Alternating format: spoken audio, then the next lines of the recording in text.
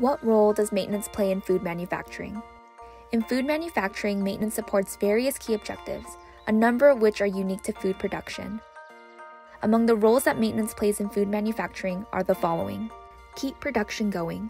Like any other industry, one of the key roles of maintenance in food production is to keep processes going without unplanned downtime.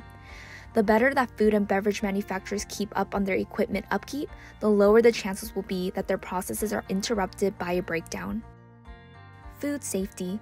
Most industries need to make sure their products are safe to use, but for the food industry, product safety is an even higher priority. Given that people eat and drink the items that leave their facilities, food manufacturers need to be absolutely certain that everything they produce is completely unspoiled and free of harmful contaminants.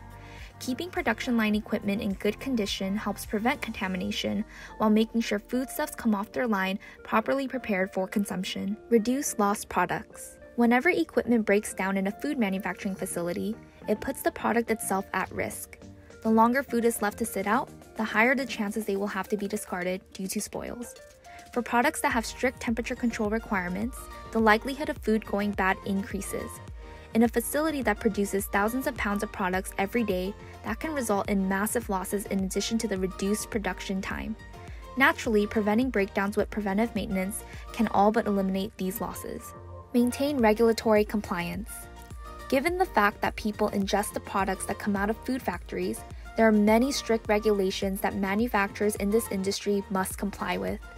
Failing to comply with those standards result in hefty fines as well as a lost reputation as a manufacturer. Maintenance work helps keep machines in a state that complies with federal standards, such as the FDA's current good manufacturing practices.